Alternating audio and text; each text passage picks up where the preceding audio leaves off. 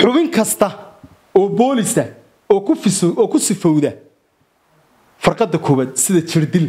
Xubinta lagu helo booliska inay jirdil samaysay oo qof muwaadina ay ku samaysay. Xadhiggan wuxuu ku ciqaabayaa shan sanno ilaa toban sanno inta udhaxaysa waa xeerka.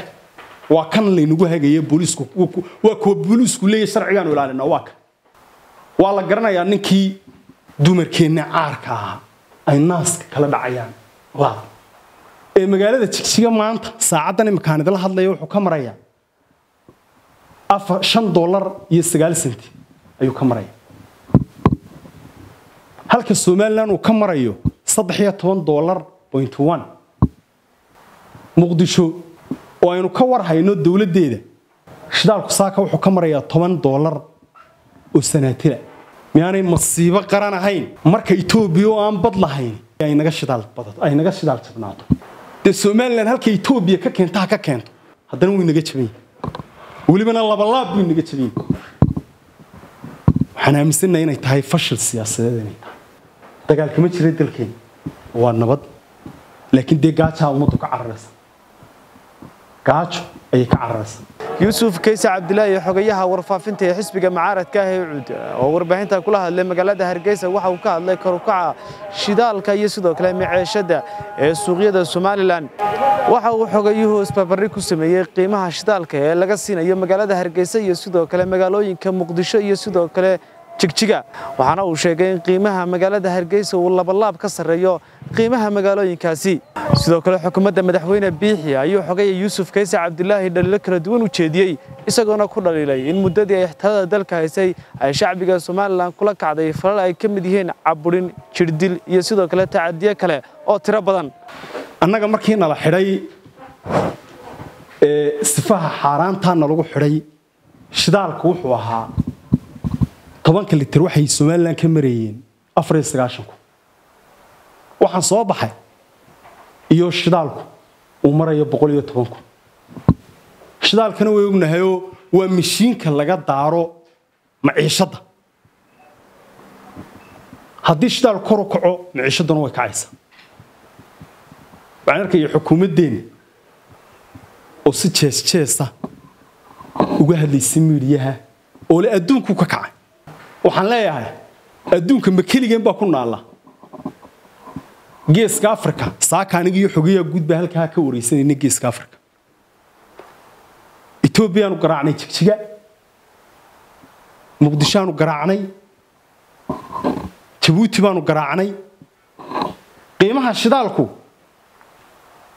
ee magaalada jigjiga maanta saacaddan imakaan idila hadlaya wuxuu ka marayaa shan dollar iyo sagaal senti ayuu ka maraya halka somalilan uu ka marayo saddex iyo toban dollar point one. Muqdisho. Oo aynu ka war hayno dowladdeeda.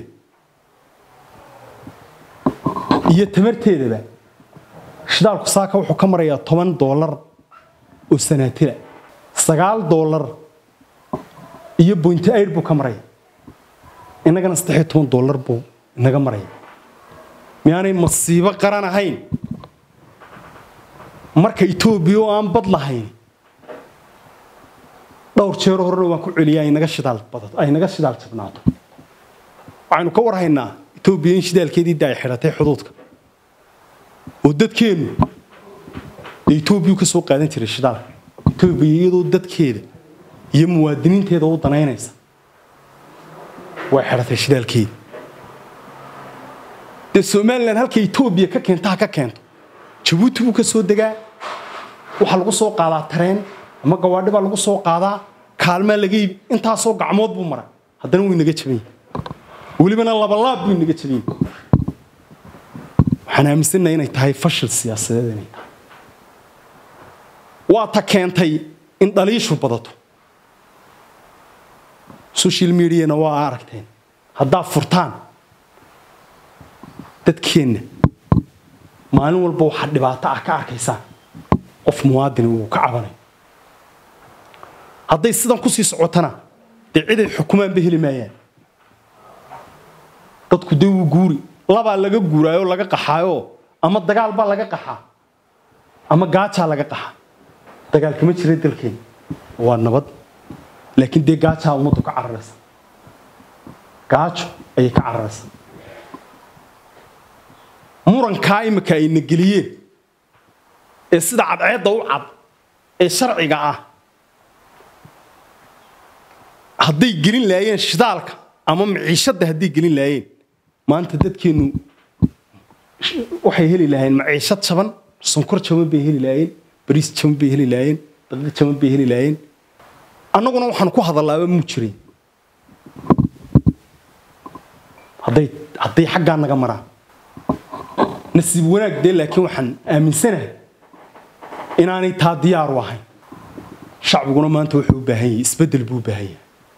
In isbeddel la sameeyo gun iyo baara ayaanu baahannahay si ummaddeennu noloshoodii waa arkaysa inuu afartaa sannadoodba waxaan lahayn war waxaa wax ka qabta war waxaa wax ka qabta. Way ku dhammaatay iyagoo aan nasiib wanaag maanta wax lagu xasuusto oo aan ahayn xadhig iyo caburin aan ahayn inay ka tegayaan. Qodobka labaadaan ka hadlaya xukuumaddu xadhigga iyo caburinta aan sifaha sharcigaa loo marin yay u adeegsataa. Xadhiggaa inta badan cidda dadka soo qabataa waa booliiska ninka wasiirkii cidda u adeegsadaa waa booliiska booliiska jamhuuriyadda somalilan oo naga mudan sharaf iyo karaamo waxa naga dhexeeya ee shacbiga iyo booliiska u dhexeeya ee xisbiyada qaranka u dhexeeya waa xeerkan. Xeerkan waxaa la yidhaahdaa xeerka booliiska jamhuuriyadda somalilan baa la yidhahdaa laba saddex qodob baan ka soo qaadanaya. Qodobka labaad cutubka labaad qodobkiisa shanaad wuxuu sheegayaa wuxuu leeyahay booliisku waa u adeegaha bulshada. Isagoo ka madax bannaan siyaasad dhexna u ah xisbiyada qaranka. Qodobka saddexee soddonaad isla xeerkan wuxuu sheegayaa wuxuu leeyahay waxaa ka reeban xubinta booliska wuxuu leeyahay ma bannaana faldembiyeed kasta oo ka dhanaa biniaadanimada sida jirdilka maskax dilka iyo dhammaan faldembiyeedada uu ku sifoobo. Jirdil waxaa markhaati ka tihiin oo ummaddaa u soo bandhigteen haddaa warbaahinta tihiin iyadoo saraakiil dumarkeenna caarka ahaa ay naaska kala dhacayaan. Laab isla xeerkan qodobkan iminkaan idiin akhriyey farqadiisa saddexaad waxay leedahay. Xubin kasta oo boolisa oo ku sifowda. Farqadda koowaad sida jirdil. Xubinta lagu helo booliska inay jirdil samaysay oo qof muwaadina ay ku samaysay. Xadhiggan wuxuu ku ciqaabayaa shan sanno ilaa toban sanno inta udhaxaysa waa xeerka. Waa kan laynagu hagaya booliisku waa kuwa booliisku leeyahy sharcigaanu ilaalina waa kan waa la garanayaa ninkii. Waa la wada garanaya dhammaan nimankii nabarada geystay waa la garanaya fideo baynu ku haynaa raggii nabarka geystay. Madaxweynuhu maalin walba wuxuu midhiyaa la soo taagan yahay. Iyo xukuumaddiisuba sharcigaanu ilaalinayna waar askariga nabarkaa geystay aynu caddaanka ku haynayn markhaati u baahnayn ee ummadda oo dhamme ay arkayso ee adduunyadu inala aragtay ilaa imika wax soo qabtay oo xidhan maynu haynaa ma jiro. Mar dambe yaan laga maqli sharci baanu ilaalinaa. Sharci ma ilaalisaane danihiinna gaarkaabaa ilaalisa. Sharcigu waa kan. Kan weeye. Waa kii loo dhaartay xukuumadda. Waa kii u dhaaratay shacbiga inay ku ilaalinayso. Robaganday sameeyeen. Maalintii hore waxay yidhaahdeen rabshadaa la samaynaya waxbaa la samaynaya way beenowday. Been cad bay noqotay. Iyagaa dadka laayay. Waxaan ugu baaqaynaa oon leenahay war sharciga ilaaliya. Sharci baa inoo dhexeeya sharciga ha la ilaaliyo. Ciidanka booliisku yaanu u ekaanin xisbiga kulmiye yaanu u ekaanin yaanay isku af noqon xisbiga kulmiye iyo ciidamada booliisku. Markay tv-ga soo fadhiistaan yaanay isku af noqon. Ciidanka booliisku waa dhex. Wuu ka madax bannaan yahay siyaasadda. Ucud ma yaqaano wadani ma yaqaano kulmiye ma yaqaano. Saddexdaba waa u dhex. Inay sharciga ilaaliyaan wey xogayaha oo hadalkiisa sii wata waxa uu dul istaagay muranka doorashooyinka ee muddooyinkii u dambeeyeyba ka taagnaa somalilan xukuumaddana mid baan odhanaya lix bilood baa imika jahwareer dadkii ku geliseen sharci baanu ilaalinaya war sharcigu miyaanu kan ahayn labadan xeer miyaanu ahayn labadaa xeer. Xeer ninety-one miyaanu ahayn iyo xeer ninety-one two zero two zero oo lagu maamulo doorashooyinka qaranka doorashooyinka guud ee qaranka. Qodobkiisa saddexaad wuxuu sheegayaa inuu doorasho u yaqaano saddex doorasho doorashada madaxweynaha doorashada golaha wakiilada doorashada deegaanka. Doorashada tooska kuma qorna adeerayaalkan bal kulmiyow ka soo saara. Kulmiyow ummadda ha jahwareerinine bal kan waxaa ka soo saartaan doorashada tooskaa ka soo saara. Ilaan ka doorashada lagu maamulaya ilaa sanduuq degmo heer gobol heer qaran ka lagu maamulaya waa kan. Hal qodob haddaad soo heshaanoo toos sheegaya ilaan ka komishanka doorashooyin ku qabanaya waa kane maxaa ummadda u jahwareerinaysaa xeer foodhiin baa idin yimi xeer foodhiin maxkamaddu waxay soo saartay qaraar xukun bay soo saartay kulmiyana amar baa lagu riday annagana amar baa nalagu riday annaga amarka nalagu riday waxa weeye waa kii hore un annagu waxaanu ku doodaynay war xeerkan imika xukuumaddu isticmaalaysaa maaha mid jiraba xeer foodhiin twenty-one bay iyagu ku doodayay annaguna waxaan lahayn waxa saxa oo dhaqangala xeer foodhiin baa saxa.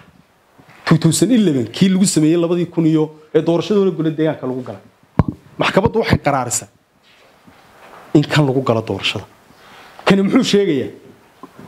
Kani wuxuu sheegayaa in xisbiyada liisanadoodu ay dhacayaan disembar disembar iyo noofembarna iyomaa horreeya bal kulmiyow saa dadka asaqada u qaadsiinaysaan noofembar iyo disembar iyomaa horreeya annagoo liisankii haysana ayaa la gelayaa noofembar de ha la qabto doorashadaada. Somalilan ka suurtoobi mayso waxaad jeceshiin kulmiyo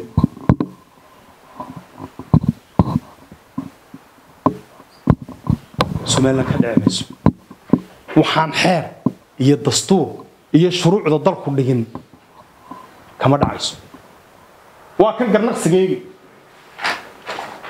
ummadda waxaanu soo bandhignay sideeddaa beejee garnaqsiga oo sharciya? Waayo dee af soomaali buu ku qoran yahay cid waliba wayna qaban karaysaa. Doodda xisbiyadu maadaama doodoodu ay tahay dood sharci ku fadhidaa cid walba way u dhiibteen. Salaadiin bay u dhiibteen waxay dhahdeen akhriya. Golayaashii qarankay u dhiibtoonay akhriya waxay dhahdeen sharci baan ku taaganahay labadan gole waa golihii sharci dejinta golaha wakiilada iyo golaha guurtida. Waxaa nasiib darro ah. Isla golihii soo saaray markaanu doodayadu u dhiibanay sharcigan. Sharcigan aan isku hayno. Isla golihii soo saaray markaan u dhiibanay nidhi doodayadu waa taa. Inay inay kalsoonida bixiyaan shacbiga somalilan o dhanna maanta isku meel baanu taaganaa way nala fahamsan yihiin inay gardiid yihiin. Waxaan leeyahay kulmiyow dalka doorashadii madaxweyne ka qabta. Doorasho ummad shacbiga somalilan maanta waxay u fadhidaa in doorasho madaxweyne la qabto. Si shacbigu u helo isbeddel. Ibrahim jakar c b a t v. Hargeysa